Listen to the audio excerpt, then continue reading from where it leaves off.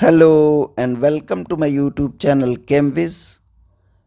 In this video, we are going to discuss criteria for a molecule to be optically active. For a molecule to be optically active, it should be chiral. That is, it should not be superimposable on its mirror image. For example, lactic acid. One of the isomers can be drawn like this. If we put a mirror, this will be the mirror image of this isomer.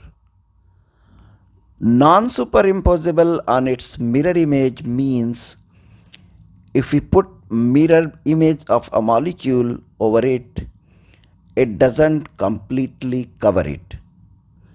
In this case, if we put the mirror image over the original molecule, we can see that these are non-superimposable. Therefore, the lactic acid is a chiral molecule.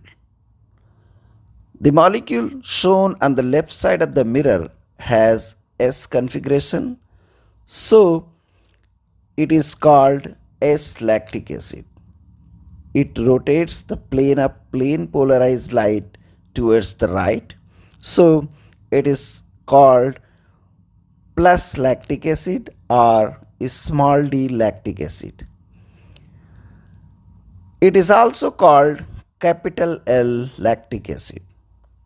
The isomer shown on the right side of the mirror has R configuration. So it is called R lactic acid. It rotates the plane of plane polarized light towards the left, so it is called minus lactic acid or small l lactic acid. It is also called capital D lactic acid. For a molecule to be optically active, it may or may not have a chiral center. For example, this biphenyl derivative doesn't have any chiral center, but it is still optically active due to the presence of chiral axis.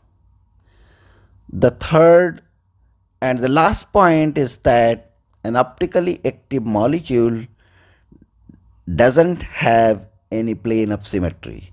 For example, L-tartaric acid and mesotartaric acid. Both have two chiral centers, but L-tartaric acid is optically active because it has two chiral centers and doesn't have any plane of symmetry, while mesotartaric acid is optically inactive as it has a plane of symmetry that makes it achiral. That's all in this video. Please subscribe my channel and press the bell icon if you like this video.